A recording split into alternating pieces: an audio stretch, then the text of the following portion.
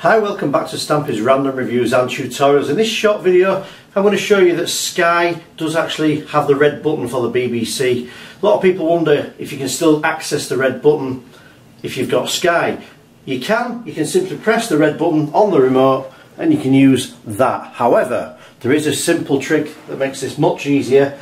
If you type channel 970, it takes you to this channel which is BBC RB, which stands for red button HD. So anything that's on the BBC red button, you can type channel 970 in on Sky. If this has been useful, please leave me a comment in the comments section. Thanks for watching.